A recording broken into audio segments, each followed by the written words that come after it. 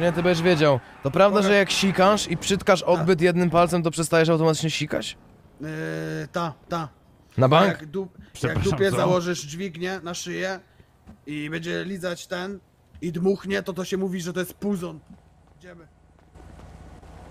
Robiłeś kiedyś